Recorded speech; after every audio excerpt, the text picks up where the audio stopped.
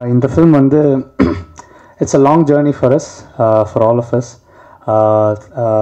எனக்கு ஒரு மியூசிக் வந்து எனக்கு ஒரு ஒரு ஒரு தளம் அமைத்து கொடுத்த என்னோடய டைரக்டருக்கு நன்றி. என்னுடைய ஹீரோ சித்தார்த் சார் என்னுடைய ப்ரொடியூசர் சுதன் சார் அப்புறம் think music Santhosh and the whole team இந்த மாதிரி ஒரு கலர்ஃபுல்லான ஒரு ஃபிலிம் வந்து எப்போவுமே பண்ணுறதுக்கு வந்து இட்ஸ் மியூசிக்கலி ரொம்ப எக்ஸைட்டிங்கான ஒரு ஒரு இதுவாக இருக்கும். ஸோ அப்படி ஒரு சாங்ஸும் அந்த மாதிரி ஒரு விஷயம் அமை அமைச்சு கொடுத்த என்னோட டைரக்டர் இந்த படத்தில் சாங்ஸில் எல்லாமே நல்லா வந்திருக்கு. எல்லோரும் எல்லாராலையும் பேசப்படுது. ஸோ அப்படி இருக்கும்போது இந்த ஃபிலிம் வந்து it's a great opportunity for us for me thank you so much for the opportunity எல்லோருக்கும் இந்த படத்தை சப்போர்ட் பண்ணுங்கள் ஜூன் ஒன்பதாம் தேதி தேட்டரில் வருது. நன்றி. தேங்க்யூ அனைவருக்கும் வணக்கம்.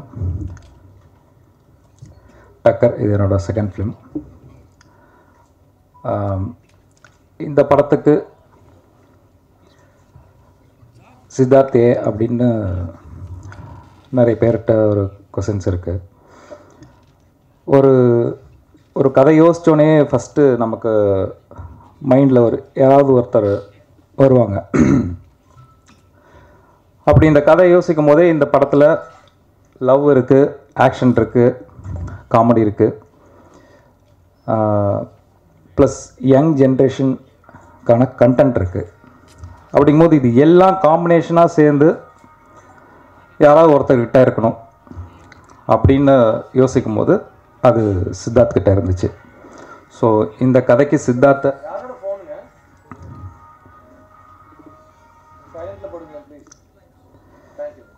ஸோ இந்த கதைக்கு சித்தார்த்தை சூஸ் பண்ணுறதுக்கு ஃபஸ்ட்டு ரீசன் அது. அப்புறம் அவருக்கு ஏன் இந்த ஸ்கிரிப்ட் பிடிச்சது அப்படின்னா அவரும் எப்போது ஒரு யூனிக் ஸ்கிரிப்ட்ஸை ஒரு டிஃப்ரெண்ட்டான ஸ்க்ரீன் ப்ளே ஏதோ ஒரு எக்ஸ்பேக்டர் இருக்கணும் அப்படின்னு நினப்பார். இந்த படத்தில் அது எல்லாமே இருந்துச்சு. இதுதான் அவர் அந்த ஸ்கிரிப்ட் பண்ணுறதுக்கு ஹெல்ப் பண்ணுச்சு. அப்புறம் ப்ரொடியூசர் சுதன். ப்ரொடியூசர் சுதன் என்னோட ஸ்கூல்மேட் ஃப்ரெண்டு எங்கள் எங்கள் ரெண்டு பேருக்குமே எப்போதுமே ஒரு கனெக்ட் இருக்கும். நான் என்ன யோசித்தாலும் சுதனுக்கு பிடிக்கும். அப்படி ஒரு கனெக்டில் தான் இந்த படம் இந்த லைன் சுதனுக்கு சொன்ன இந்த மாதிரி ஒரு லைன் இருக்குது பண்ணலாம் அப்படின்னு சொல்லி சொன்னேன்.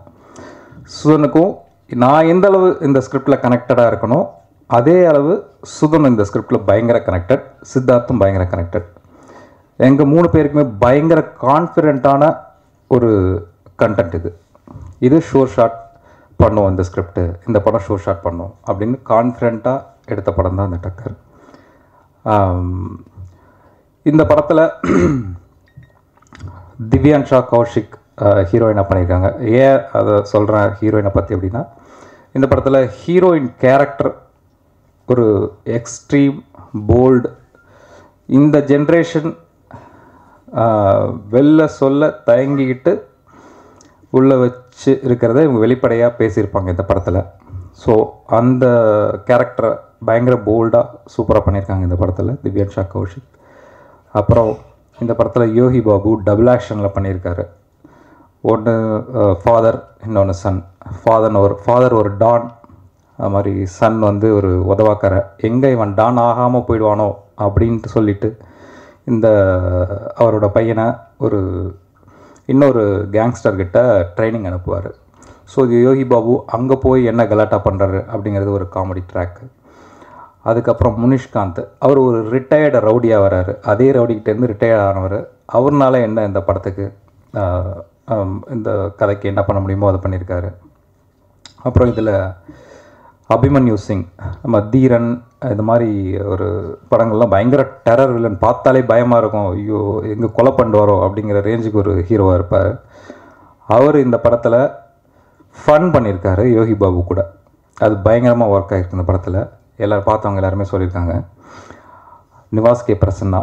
இந்த படத்துக்கு பெரிய ஒரு ப்ளஸ் நிவாஸ் பிரசன்னா அவரோட மெலடிஸ் அவரோட பிஜிஎம் எல்லாமே.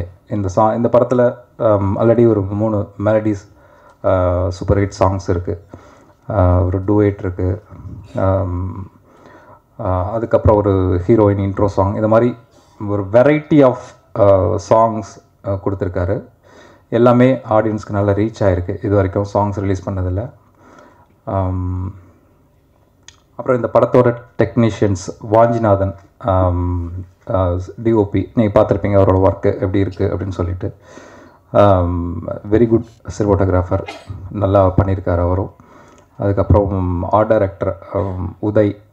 இதுக்கு முன்னாடி ஒரு டான் மூவி பண்ணியிருக்காரு. செகண்ட் ஃபிலிம் என்னோட படம் பண்ணியிருக்காரு. அவர் நல்லா பண்ணியிருக்காரு அந்த படத்தில். லிரிசிஸ்ட் இந்த படத்தில் லிரிக்ஸ் ரொம்ப முக்கியம் ஆக்சுவலாக இந்த எல்லா பாட்டுலேயுமே லிரிக்ஸ் ரொம்ப கவனமாக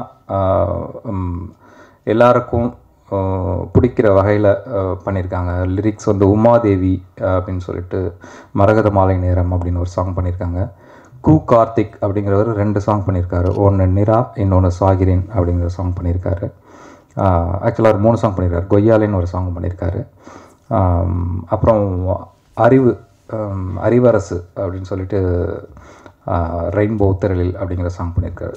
லிரிக் எல்லாமே படத்தோட சேர்ந்து இருக்கும். அதே சமயத்தில் தனியாக கேட்கும்போது ஒரு நம்மளுக்கு ஒரு ஃபீலும் கிடைக்கும். எனக்கு தெரிஞ்சு இந்த மாதிரி லிரிக்ஸ் வந்து ரொம்ப நாள் ஆன மாதிரி எனக்கு ஒரு ஃபீல் இருக்குது ஆக்சுவலாக கண்டிப்பாக பாட்டு கேட்குறவங்களுக்கும் அந்த ஃபீல் இருக்கும்.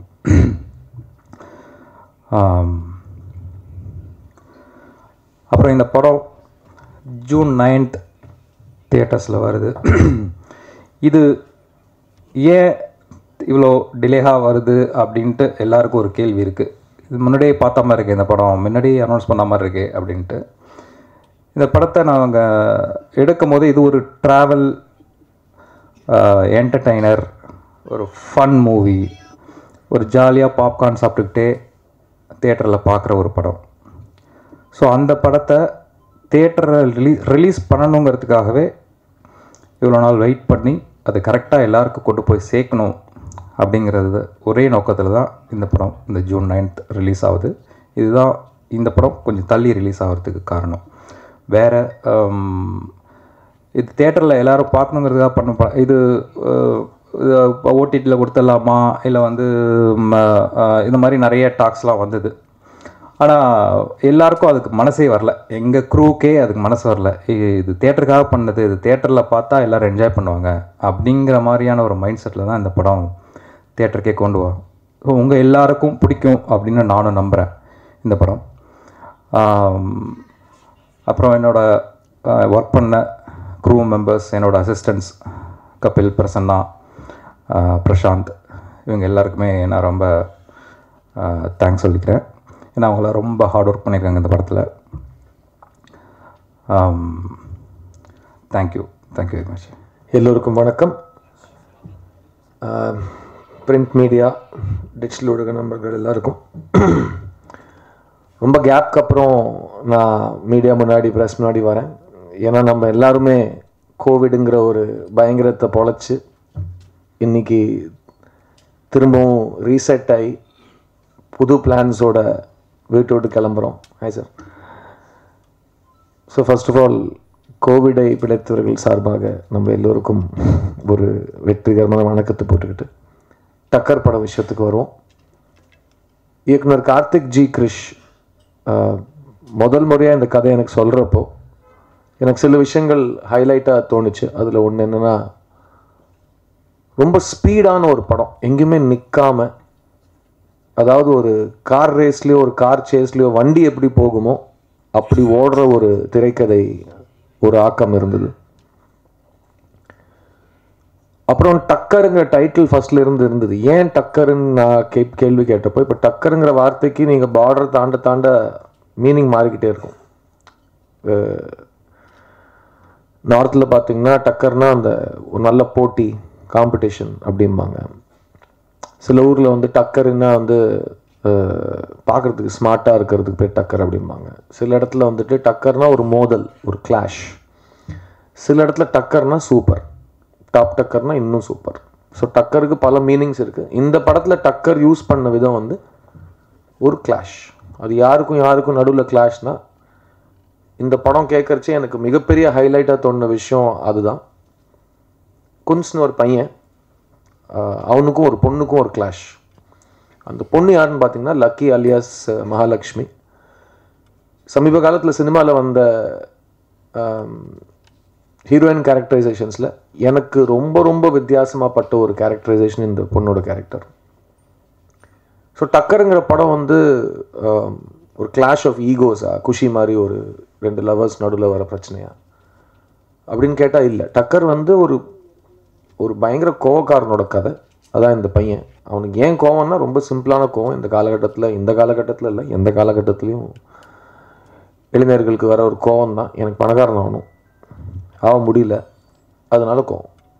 யார் மேலே கோவம் எது மேலே கோவம் எப்படி காட்டுறது எதுன்னு தெரியாமல் எக்கச்சக்க கோவத்தோடு சுற்றுற ஒரு யங்ஸ்டர் அவன் வாழ்க்கையில் நடக்கிற காம்ப்ளிகேஷன்ஸ் அதில் நடக்கிற ஓட்டம் அதில் நடக்கிற ஆப்போசிஷன் அதை எப்படி அவன் மீண்டு வந்தான் அது எல்லாமே இந்த படத்தோட சென்டர் ஆனால் ஜென்ரலாக ஒரு பையன் இருப்பான் அவனுக்கு ப்ராப்ளம் இருக்கும் பொண்ணை மீட் பண்ணுவான் காதலிப்பான் அவங்க. அப்புறம் ஏதோ ஒரு பிரச்சனை வரும் பொண்ணோட அண்ணன் வருவான் இல்லை வில்லன் வருவான் வில்லனை சண்டை போடுவான் பொண்ணை எடுத்துகிட்டு போயிடுவான். அந்த ஸ்க்ரீன் பிளே இல்லாமல் இதில் வந்து எங்கேருந்து ஸ்டார்ட் ஆகுது எங்கே முடியுதுங்கிறது இந்த காரோட பிரயாணம் மாதிரி அது ஒரு ரொம்ப டிஃப்ரெண்ட்டாகவே சொல்லியிருக்காரு கார்த்திக். ஸோ இந்த கோவக்கார ஹீரோ இந்த கேரக்டரில் எனக்கு இது வரைக்கும் கோவக்கார கேரக்டர்ஸ் கொடுக்கப்பட்டிருக்குன்னா நிறையா கொடுக்கப்பட்டிருக்கு. சிலது பண்ணியிருக்கேன் சிலது பண்ணல. பண்ண பண்ண ஃபிலிம்ஸில் கூட நிறைய இடத்துல கோவத்தை வந்து ஃபஸ்ட்டு ஸ்கிரிப்ட் ஸ்டேஜில் நிறைய சீன்ஸில் காட்டுவாங்க. அது ஷூட்டிங்க்கு போய் போக போக போக நான் நடிக்கிற விஷயமா இருக்கட்டும் அதில் வந்து அக்ரெஷனும் வயலன்ஸும் அன்பும் குறைஞ்சிக்கிட்டே வரும். லவ் போர்ஷன்ஸ் ஏறிக்கிட்டே வரும். அது எனக்கும் என் டேரக்டர்ஸ்க்கும் நடுவில் பாஸ்டில் நடந்திருக்கு. ஸோ நான் கார்த்தியும் கேட்டேன் இந்த படத்தில் அஞ்சு ஃபைட்னா அஞ்சு ஃபைட் இருக்குமா? இல்லை கடைசியில் ரெண்டு ஃபைட்டு மூணு பாட்டாக மாறிடுமானா இல்லை இல்லை. இது எழுதினதே ஒரு ரஃப் அண்ட் டஃப் ஃபிலிம் தான். உங்களுக்கு இது வரைக்கும் எல்லோரும் சாஃப்டாக பார்த்துருக்காங்க. நீங்கள் ரக்கடாக ஒரு ரோல் பண்ணீங்கன்னா அது புதுசாக இருக்கும். நான் பண்ணுறதுக்கு ரெடி காத்தி எனக்கு ஒரு நடிகனுக்கு எதுவுமே நான் பண்ணுவேன் பண்ண மாட்டேன்னு சொல்கிற விஷயம் கிடையாது. ஏற்றுப்பாங்களான்னு சொல்லிட்டு நடுவில் ஒரு பத்து பேர் கருத்து சொல்லிட்டு இருப்பாங்க. உங்களுக்கே தோணுனா அவங்க கிடக்குறாங்க சார். படத்தை நான் தான் எடுக்கிறேன். நான் உங்களை காட்டுறேன். ஆடியன்ஸ் தேட்டரில் ரெஸ்பான்ஸ் பண்ணுறாங்க நீங்களே பார்த்துக்கோங்க. ஸோ அதில் ஒரு ஒரு ஃபுல் ஒரு பிலீஃபில் இறங்கினது தான் இந்த டக்கர் படத்தோட ஷூட்டிங் டேஸ் இது வரைக்கும் பண்ண படங்கள் லாஸ்ட் ஃபைவ் சிக்ஸ் இயர்ஸில் பண்ண படங்களில் நிறைய நாள் ஸ்டண்ட் கால் ஷீட்டு ஃபைட்டர்ஸோட சுற்றணும் அண்ட் நிறைய ஃபைட்டு அதுக்கான நிறைய மெனக்கெடல் உடம்பு ஏற்றணும் நிறைய ப்ராக்டிஸ் எடுக்கணும். ஃபைட்டுனா நல்லா பண்ணாலே அடி விழும். நான் நிறைய சொதப்புவேன். ஸோ நிறைய அடி விழுந்துச்சு. ஸோ வீட்டிலேருந்து ஷூட்டிங் கிளம்பிச்சு. ஐயோ அம்மான்னு தான் கிளம்புவேன். திரும்ப வச்சு இன்னொரு ஐயோ இன்னொரு அம்மா சேர்ந்துக்கும். பட் அதை வந்து ரிசல்ட்டாக படத்தில் பார்க்குறச்சு எனக்கே என்னை தாண்டி ஒரு எக்ஸைட்மெண்ட் பரவாயில்லடா பையன் செம்மையாக பண்ணியிருக்கேன் ஆக்ஷன் நானே என்னை பாராட்டுற ஒரு ஒரு நிலைமைக்கு வந்துட்டேன். ஸோ ரொம்ப சந்தோஷமாக இருந்தது அந்த விஷுவல் பார்க்குறதுக்கு டக்கருங்கிறது ஒரு அவுட் அண்ட் அவுட் கமர்ஷியல் ஃபில்முங்க அந்த மாதிரி படத்துக்கு ஒரு மீடியா இன்ட்ராக்ஷன்லையோ ஆடியன்ஸ் கிட்ட பேசுறச்சோ இன்டர்வியூஸ் கொடுக்குறச்சோ ஒரு எக்ஸ்ட்ரா கான்ஃபிடென்ஸ் இருக்குது ஏன்னா இது வரைக்கும் நம்ம இவ்வளோ அவுட் அண்ட் அவுட் ஜனங்களை ஒரு கமர்ஷியல் ஃபார்மேட்டில் அட்ராக்ட் பண்ணுற படம் பண்ணல. அது பண்ணுறச்சே அதில் இருக்கிற எல்லா எலிமெண்ட்ஸும் ஒரு ஒரு நல்ல ஒரு சமையலில் வர கோர்வை மாதிரி ஒரு ரெசிப்பியில் இவ்வளோ இஞ்சி இவ்வளோ பூண்டு இவ்வளோ மிளகான்னு சொல்லிட்டு அந்த மாதிரி ஒரு ஒரு ஒரு எல்லா ஆஸ்பெக்ட்ஸ்லேயும் கமர்ஷியல் இன்க்ரீடியன்ஸை ஒப்பின ஒரு படம். அது பார்க்கறச்சே எல்லாம் ஒர்க் ஆகுதுன்னு நமக்கு தெரியறச்சே ஒரு ஒரு தனிப்பட்ட முறையில் ஒரு எக்ஸைட்மெண்ட் ஒரு கான்ஃபிடென்ஸ் இந்த படத்து மேலே எனக்கு இருக்குது ஸோ நீங்கள் ஜூன் நைன்த் என்ன நடக்க போகுது சித்தார்த் அப்படின்னு கேட்டிங்கன்னா சித்தார்த் காட்டில் மழை. கன்ஃபார்மாக ஜூன் நைன் சித்தார்த்துக்கு ஒரு ஹிட்டு காத்துட்ருக்குன்னு நான் சொல்லுவேன். அது எந்த அளவுக்கு ஹிட்டுனா அந்த டேரக்டருக்கு அதுவும் இந்த பல்ஸுங்கிற வார்த்தை ஃபஸ்ட்டு நிறைய யூஸ் பண்ண டேரக்டர் சங்கர் சார் பற்றி தான் ஸோ அவரோட சீடரோட படத்தை பற்றியும் அதே தான் பேசுவாங்க. அந்த ஆடியன்ஸோட பல்ஸை புரிஞ்சுக்கிட்டு அவங்களுக்கு என்ன இந்த காலகட்டத்தில் இந்த காலகட்டத்தில் என்ன வேணுமோ அதை நல்லாவே நிறைஞ்சு அவங்களுக்கு கொடுத்து ஒரு வெற்றியை சாதிக்க போகிற டைரக்டராக நான் கார்த்திக் கிருஷை பார்க்குறேன் ஸோ இது முடிச்சதுக்கப்புறம் இவர் உங்களுக்கு இவ்வளோ பெரிய கமர்ஷியல் ஹிட் கொடுக்க போகிறாரு நெக்ஸ்ட் என்ன பண்ண போகிறீங்கன்னா யூஸ்வலாக நான் நிறைய புது இயக்குனர்களோட ஒர்க் பண்ணியிருக்கேன். ரெண்டாவது படம் எடுக்கிறவங்களோட ஒர்க் பண்ணிகிட்ருக்கேன் பண்ணியிருக்கேன். இருபத்தஞ்சி முப்பது படம் அந்த மாதிரி வேறு வேறு பாஷையில் பண்ணியிருக்கேன். ஆனால் அவங்க யாரோடையுமே எனக்கு ரெண்டாவது படம் கிடைக்கல. அதுக்கான காரணங்கள் வேறாக இருக்கலாம். இந்த வாட்டி அந்த மாதிரி சான்ஸ் எதுவும் எடுக்க வேணாம்னு சொல்லிட்டு கார்த்தியோட கண்டினியூஸாக நானே இன்னும் ரெண்டு படம் பண்ணலான்னு முடிவெடுத்து மற்ற ஹீரோஸ்க்கு சாரி நாட் அவைலபிளுங்கிற மாதிரி போர்டு போட்டிருக்கேன். பிகாஸ் தமிழ் சினிமாவுக்கு முக்கியமான ஒரு கமர்ஷியல் இயக்குனராக கார்த்திக் இருப்பாருன்னு நான் நம்புகிறேன் அண்ட் என்னோட ஜெர்னியில் வந்து என்னை வந்து எனக்கே புதுசாக காட்டின ஒரு டேரக்டர் ஸோ நாங்கள் வந்து ஸ்க்ரீனில் சித்தார்த் தெரியக்கூடாது குணசேகர் இந்த குன்ஸுங்கிற பையன் தான் தெரியணுங்கிற ஒரு முடிவோடு இறங்குறச்சு. நிறைய மெனக்கிடல். அந்த பாடி லாங்குவேஜாக இருக்கட்டும் பேசுகிற விதமாக இருக்கட்டும் எல்லாம் எல்லாமே பார்த்தா எப்படி இருக்கணும்? ஸோ நீங்கள் பார்த்துருப்பீங்க இந்த ஆட்டு தாடி இந்த சுருட்ட முடி எதுலேயுமே பண்ணாத ஒரு லுக் ஏன்னா கார்த்தி வந்து அவரோட ஹீரோ வேறு எந்த ஹீரோட சாயலும் இல்லாமல் அவரோட ஹீரோவாக நடிக்கிற ஆர்டிஸ்டோட போன படத்தோட சாயல் இல்லாமல் புதுசாக இருக்கணும்னு நினைக்கிற ஒரு டைரக்டர் ஸோ அதுக்கான மெனக்கெடல் நடந்திருக்கு. ஸோ இந்த படத்தில் வந்து கமர்ஷியல் எலிமெண்ட்ஸ்னு சொல்கிறப்போ நடிகர்கள் தேர்வு. எனக்கு வந்து யோகி பாபுவோட ஒரு ஒரு பெரிய படம். இது யோகி பாபுக்கு டபுள் ரோல் இதில். எனக்கு பாபுவோட நடிப்பு ஜென்ரலாகவே பிடிக்கும். அண்ட் அவர் நல்ல ஃபார்மில் ஆடுறச்சே அவர் தொட்டுக்கிறதுக்கு யாருமே கிடையாது. ஸோ இது டெஃபினட்டாக யோகி பாபுவோட காமெடி ட்ராக் ட்ராக் லிஸ்ட்டில் ஒரு பெரிய ஹிட்டாக இருக்கும்னு நான் நம்புகிறேன் ஹீரோயின் திவ்யான்ஷா கௌஷிக் நான் சொன்ன மாதிரி இந்த ஹீரோயின் கேரக்டர் தாங்க இந்த படத்தோட எக்ஸ் ஃபேக்டர் அந்த மாதிரி ஒரு பொண்ணு நான் சமீப காலத்தில் சினிமாவில் பார்க்கல.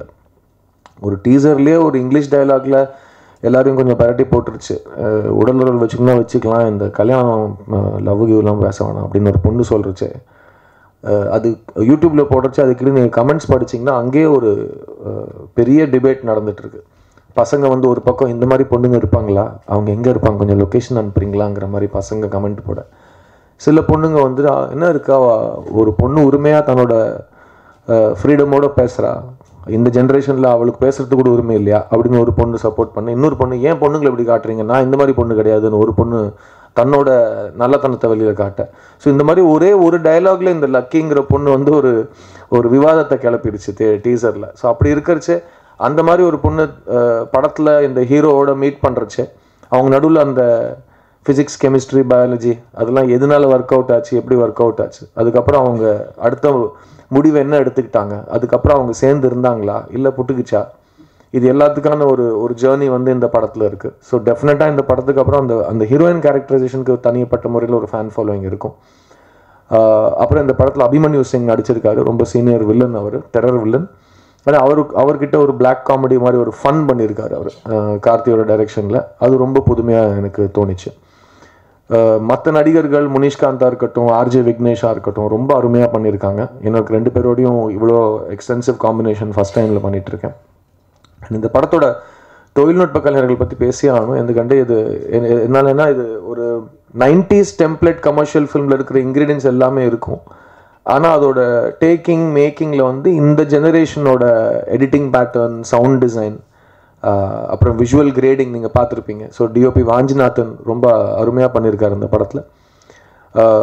நிவாஸ் கே பிரசன்னாக்கு இந்த படம் ரொம்ப ரொம்ப பெரிய படம் அவரோட கரியரில் அண்ட் இந்த படத்தை பெரிய படம் ஆக்கிறதுல நிவாஸ் கே பிரசன்னாக்கு ஒரு மிகப்பெரிய கை இருக்குது ஏன்னா நிவாஸ் பிரசன்னா மெலடி கிங் எனக்கு ரொம்ப பிடிக்கும் அவரோட எல்லா படத்தோட மெலடிஸும் ஸ்பெஷலி நான் தெகடிலாம் வந்து அந்த ஒரு படத்தை வந்து மெலாடிக்காகவே அவர் நிறைய விஷயங்கள் எக்ஸ்ட்ராடனரியாக பண்ணியிருப்பார் ஸோ இந்த படத்தில் ஆல்ரெடி நீங்கள் கேட்டிருப்பீங்க நிராங்கிற சாங் அவ்வளோ பெரிய ஹிட் சாங் அது.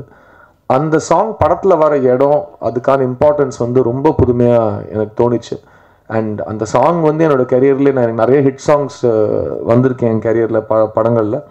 அந்த வரிசையில் Nira is a really really special song Nivas. So அவர் கொடுத்த ஆல்பம் அப்புறம் ரெயின்போ திரலுங்கிற பாட்டு சிம்பு பாடியிருக்காரு. அண்ட் அந்த பாட்டோட விஷுவல்ஸும் ரொம்ப நல்லா வந்திருக்கு. அண்ட் ஓவரால் ரீரெக்கார்டிங்காக இருக்கட்டும் இந்த படத்தில் ஒரு மூடு கிரியேட் பண்ணுறதா இருக்கட்டும் இது வந்து ஒரு நான் ஸ்டாப் என்டர்டெய்னர் நான் சொன்ன மாதிரி. ஸோ அதில் வந்து மியூசிக் ஒரு மிகப்பெரிய பங்கு இருக்குது அண்ட் இந்த படத்துக்கு அப்புறம் ஐ திங்க் நிவாஸ் பிரசனோட ஒர்க்கை பற்றி அவர் போட்ட இன்புட்டு கார்த்திக்கும் அவருக்கும் இருக்கிற கெமிஸ்ட்ரி பற்றி நம்ம நிறைய பேசுவோம்னு நான் நம்புகிறேன் டக்கருங்கிற படம் வந்து ஏன் பார்க்கணும் எதுக்கு பார்க்கணும்னு ஆடியன்ஸுக்கு நான் சொல்கிற மிகப்பெரிய ஒரு ஒரு வழி இதுதான் உங்களோட மீடியா த்ரூவாக தான். இப்போ ஆடியன்ஸுக்கு நிறைய சாய்ஸ் இருக்குது ஒரு படம் ஒரு வாரத்தில் அப்படிலாம் கிடையாது. எல்லா திசையிலிருந்தும் ஏதோ ஒரு என்டர்டெயின்மெண்ட் அவங்களுக்கு இருக்குது ஃபோன்லேயே பார்க்கலாம் டிவியில் பார்க்கலாம் லேப்டாப்பில் பார்க்கலாம் படுத்துக்கிட்டு பார்க்கலாம் ஆட்டோவில் பார்க்கலாங்கிற மாதிரி ஃப்ரீடம் ஆஃப் சாய்ஸ் நிறையா இருக்குது ஸோ அப்படி இருக்கிற ஒரு க்ரௌடடான டைமில் என் ப இது பாருங்க ஹலோ ஹலோ பாஸ் பாஸ் என் படம் என் படம் அப்படின்னு ஃபஸ்ட்டு அவங்களோட அட்டென்ஷனை வாங்குறது. அதுக்கப்புறம் இருக்கிற இந்த ஒரு நிமிஷம் ரெண்டு நிமிஷத்தில் ஏன் என் படத்தை பார்க்கணும்னு நான் சொல்கிறேன் எப்போ வருது எந்த தேட்டரில் வருது? இந்த இன்ஃபர்மேஷன் எப்படியாவது ஆடியன்ஸ் கிட்ட போய் சேர்க்கறதுங்கிறது இப்போ சினிமாவில் மிகப்பெரிய ஒரு ஒரு பொறுப்பாயிடுச்சு. So June ninth Takkar release ஆகுது. கார்த்திக் ஜி கிரிஷோட இயக்கத்தில் ஒரு மிகப்பெரிய commercial film Passion Studio Sudhan produce பண்ணியிருக்காரு. இந்த படத்தை நீங்கள் ஏன் பார்க்கணுன்னு கேட்டிங்கன்னா இது தியேட்டர்ஸ்க்காக எடுக்கப்பட்ட படம். ஏன்னா கோவிட் டைமில் தியேட்டர் இருக்குமா? இனிமேல் தியேட்டர்லாம் அவ்வளோ முடிஞ்சு போச்சு இல்லை. அந்த கூட்டத்தோடு போய் கைத்தட்டி பார்க்கறதுலாம் முடிஞ்சிச்சுன்னா டிபேட்லாம் நடந்துச்சு. அப்போ நிறைய ஹீரோஸ் நாங்கள் பப்ளிக்காகவும் சொல்லியிருக்கோம். நாங்கள் இன்றைக்கி இருக்கிறது தியேட்டர்ஸ்னால தான் நாங்கள் இருக்கிற வரைக்கும் தேட்டர்ஸ் இருக்கும்னு ஒரு நம்பிக்கை செலுத்தியிருந்தோம். ஸோ டெஃபினட்டாக தேட்டரோட மேஜிக் இன்னும் நிறைய வருஷம் தாங்கும். அண்ட் அந்த ஒரு மேஜிக்கல் எக்ஸ்பீரியன்ஸ்க்காக தனிப்பட்ட முறையில் எடுக்கப்பட்ட படம் இந்த டக்கர். ஸோ இந்த டக்கரை வந்து நீங்கள் இதை ஓடிடியில் வந்து பார்த்துக்கலாம் டிவியில் பார்த்துக்கலாம் அப்புறம் பார்த்துக்கலாம்னா அதுக்காக எடுக்கப்பட்ட படம் கிடையாது. இது பியூர் அண்ட் பியூர் ஃப்ரெண்ட்ஸோட ஜாலியாக பாப்கார்ன் சாப்பிட்டுக்கிட்டே எங்கேயுமே நிற்காமல் வேகமோடு ஓடுற ஒரு படம் இந்த டக்கர். ஸோ டெஃபினட்டாக ஜூ நீங்கள் ஜூன் நைன்த் டிக்கெட் எடுத்து தியேட்டரில் உட்காந்து இந்த படத்தை பார்த்தீங்கன்னா இந்த படம் அந்த காரணங்களுக்கு உங்களை கண்டிப்பாக டிசப்பாயிண்ட் பண்ணாது. இது ஒரு terrific entertainer and it's a fun summer film and Tamil சினிமாவுக்கு இந்த சம்மரில் வர ஃபில்ம்ஸில் இந்த படம் தனி இடத்த பிடிக்கும். அண்ட் அதை பற்றி நம்ம ரிலீஸ்க்கு அப்புறம் கண்டிப்பாக பேசுவோம்னு நான் நம்புகிறேன் அண்ட் uh, இதுக்கப்புறம் கார்த்திக்கும் நான் இன்னொரு படமும் பண்ணியிருக்கோம். ஸோ அதுவும் இந்த ரிலீஸ்க்கு அப்புறம் அதை பற்றி பற்றின டிஸ்கஷன்ஸும் வேலைகளும் கண்டினியூ ஆகும். ஸோ இது எனக்கு ரொம்ப முக்கியமான ஒரு வருஷம். நான் ஆகஸ்ட் டுவெண்ட்டி நைன்த் வந்தால் பாய்ஸ் படம் ரிலீஸ் ஆகி இருபது வருஷம் ஆகுது. ஸோ இந்த இருபது வருஷத்தில் நான் நிறைய கற்றுட்ருக்கேன் அண்ட் அடுத்த இருபது வருஷத்துக்காக நிறைய ஆயுதங்களும் ரெடி பண்ணிகிட்ருக்கேன் ஸோ ஒரு ரொம்ப ரொம்ப ஒரு அதிர்ஷ்டசாலியான ஒரு லைனாக லைனப் எனக்கு மாட்டியிருக்கு அது மாட்டியிருக்குன்னு சொல்கிறத விட எல்லாமே டைம் ஆகும். நம்ம ரெடி பண்ணி சேர்த்து கொண்டு வரதுக்கு. நடுவில் ரெண்டு வருஷம் எல்லாருமே நொண்டிட்டோம். ஸோ அதுலேருந்து திரும்ப வந்து எல்லா சரக்கையும் சேர்த்து வச்சுக்கிட்டு திரும்ப வரைச்சு அடுத்த ஒரு வருஷம் ரெண்டு வருஷத்தில் எனக்கு ரொம்ப ரொம்ப எக்ஸைட்டிங்கான ஒரு லைன் அப் இருக்குது அதுக்கு நான் ரொம்ப நன்றி கடன் பட்டிருக்கேன். கரெக்டான ஃபில்ம் மேக்கர்ஸ் கரெக்டான ஸ்கிரிப்ட்ஸ் கரெக்டான டைம் ஸோ எல்லா ஆப்பர்ச்சுனிட்டிஸையும் மேக்ஸிமம் யூஸ் பண்ணி எனக்கும் என்னோடய ஆடியன்ஸ்க்கும் நடுவில் ஒரு தூரம் பிகாஸ் ஆஃப் இந்த டைமில் கோவிட்க்கு அப்புறம் திரும்ப கரெக்டான டைமுக்கு ஒரு படத்தை போய் தியேட்டரில் சேர்க்கணுங்கிற அக்கறை. ஸோ இப்போ எல்லா ப்ரொடியூசர்ஸோடையும் I'm working very closely so அந்த ஒரு ஒரு ஒரு ஜேர்னியில் ஃபஸ்ட்டு ஸ்டெப் இந்த டக்கர். ஸோ நான் சொன்ன மாதிரி நான் ரொம்ப கான்ஃபிடண்ட்டாக இருக்கேன். ஜூன் நைன்த் எனக்கு ஒரு ஹிட் காத்துட்ருக்கு. அது எவ்வளோ பெரிய ஹிட்டுங்கிறது நான் எவ்வளோ பேருக்கு இந்த இன்ட்ராக்ஷன்ஸில் மீடியாவில் எவ்வளோ எவ்வளோ ஆடியன்ஸ் மெம்பர்ஸ் இந்த படத்தை பற்றி அவேர்னஸ் தெரிஞ்சுக்கிறாங்க இந்த மாதிரி ஒரு படம் வருது இதை போய் கண்டிப்பாக பார்க்கணுன்னு அவங்களுக்கு கான்ஃபிடன்ஸ் வரணும். அந்த கான்ஃபிடன்ஸ் வர அளவுக்கு இந்த படத்தோட ட்ரெய்லர் வந்திருக்கு இந்த படத்தோட பாடல்கள் இருக்குது இந்த படத்தோட பப்ளிசிட்டி எல்லாமே நடந்திருக்கு. ஸோ ஒரு நல்ல க்ரேஸ் இருக்கிற சப்ஜெக்ட் உங்கள் எல்லாரோட ஹெல்ப்போடையும் சப்போர்ட்டோடையும் கண்டிப்பாக டக்கர் போய் டக்கரான ஒரு ரிசல்ட்டை சேர்க்கும்னு நான் நம்புகிறேன் ஸோ இந்த ப்ரெஸ் மீட்டில் இவ்வளோ நாள் கேப்பு டெஃபினட்டாக இதுக்கப்புறம் அடுத்ததுக்கு இவ்வளோ கேப் இருக்காதுன்னு நம்புகிறேன் so thank you for all your support and இப்போ தான் பிஃபோர் நான் ஸ்டேஜ் ஏறுறதுக்கு முன்னாடி நிறைய பேர் பர்சனலாக ரொம்ப பாசிட்டிவாக நிறைய சப்போர்ட்டிவான விஷயங்கள் சொன்னீங்க. உங்களோட சப்போர்ட் எல்லாமே அது வந்து அதுக்கு தேங்க்ஸ் சொல்லணுமா இல்லை நல்ல வேலை அது இருக்குதுன்னு அதுக்காக ஒரு ஒரு நன்றி கடன் படணும் அதுவும் சேர்த்து தான் so I'm very grateful for all the support and இன்னும் எதிர்பார்ப்புகள் வச்சுக்கோங்க. பிகாஸ் ஒரு நடிகனுக்கு எவ்வளோ எதிர்பார்ப்பு இருக்கோ அவ்வளோதான் வேலைக்கு போகிறதுக்கு அவ்வளோ உற்சாகமாக இருக்கும். So thank you so much for coming today and Takkar படத்துக்கு உங்கள் ஆசீர்வாதத்தை கொடுங்க. And spread the word June nine தியேட்டரில் சந்திப்போம். டக்கர். தேங்க்யூ